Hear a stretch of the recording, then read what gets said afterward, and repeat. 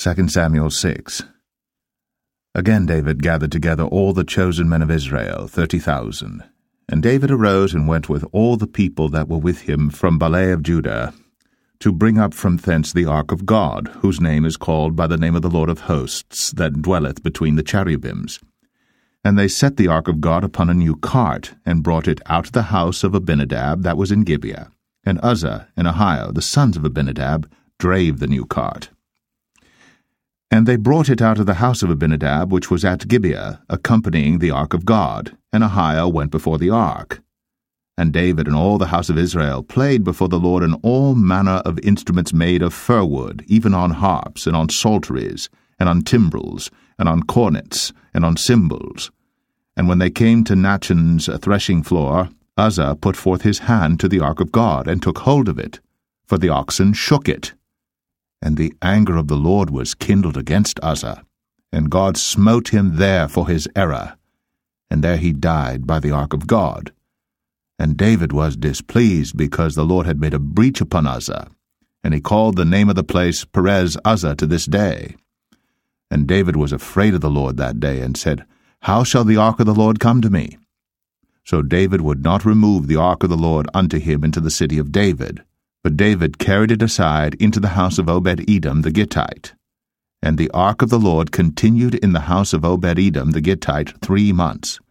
And the Lord blessed Obed Edom and all his household. And it was told King David, saying, The Lord hath blessed the house of Obed Edom, and all that pertaineth unto him, because of the ark of God. So David went and brought up the ark of God from the house of Obed Edom into the city of David with gladness. And it was so, that when they that bare the ark of the Lord had gone six paces, he sacrificed oxen and fatlings.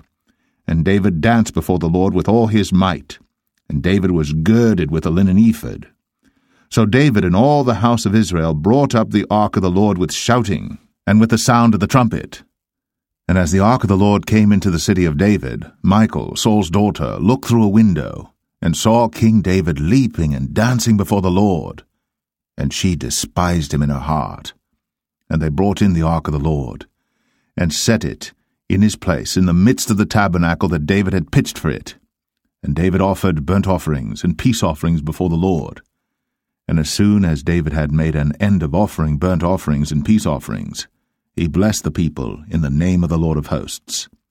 And he dealt among all the people, even among the whole multitude of Israel, as well to the women as men, to every one a cake of bread, and a good piece of flesh, and a flagon of wine.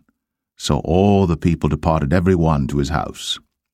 Then David returned to bless his household, and Michal, the daughter of Saul, came out to meet David, and said, How glorious was the king of Israel today, who uncovered himself today in the eyes of the handmaids of his servants, as one of the vain fellows shamelessly uncovereth himself.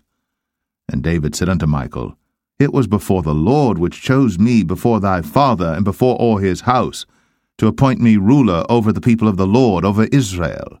Therefore will I play before the Lord. And I will yet be more vile than thus, and will be base in mine own sight. And of the maidservants which thou hast spoken of, of them shall I be had in honour.